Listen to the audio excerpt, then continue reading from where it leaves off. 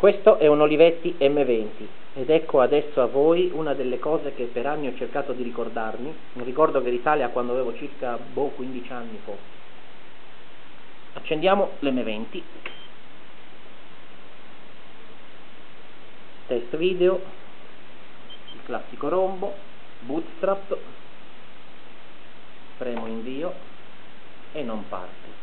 Io però faccio un trucchetto guardate lo schermo.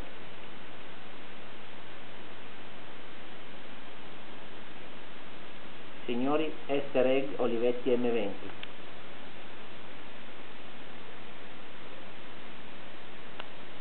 se fate una donazione al museo dell'informatica può darsi che vi dica qual è la combinazione di tasti interessante, ne è vero?